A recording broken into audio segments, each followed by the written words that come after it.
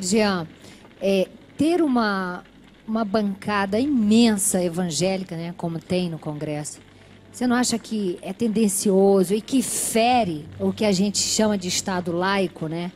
Que para quem não sabe, a gente, o Estado laico, a gente não, é, a gente é muito imparcial, né? O país não tem essa coisa de ah, eu sou evangélico, eu sou do candomblé, eu sou católico, mas lá dentro é muito grande isso. Você não acha que a maioria está lá dentro dizendo que é evangélico para garanhar votos, usando a religião? Olha, e primeiro eu acho que a, comunidade evangélica tem o direito de ter representantes, de ter pessoas que lhes representam. Então, eu acho que sim, um, uma pessoa da comunidade evangélica pode se candidatar e ser eleito.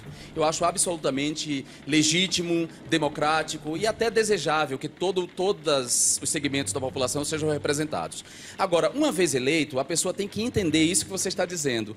Você se elegeu por essa comunidade, para defender os interesses dessa comunidade, mas você tem que defender, lembrando que o Estado brasileiro é um Estado laico. O que, que, o que é que isso significa? O Estado é separado da igreja. O Estado não pode legislar com base em dogmas religiosos. Por quê? Porque nós somos uma nação com muitas religiões. Nós temos pessoas cristãs católicas, cristãs evangélicas, nós temos budistas, temos os judeus, temos os muçulmanos, as pessoas da Umbanda. Então a gente não pode pegar os valores e os dogmas de uma religião e criar leis a partir desses dogmas. É você, então, atentar contra o direito do outro. Então, quando uma pessoa da comunidade evangélica se elege, ela tem que lembrar disso. Olha, eu estou aqui, mas eu estou aqui submetido à Constituição Federal. E a Constituição Federal diz que deve promover o bem de todos. E, e outra coisa, é, é, a gente tem que distinguir a comunidade evangélica, que merece respeito, é, das pessoas, de algumas pessoas que falam em nome dessa comunidade, não necessariamente representam essa comunidade. Ô, Jean,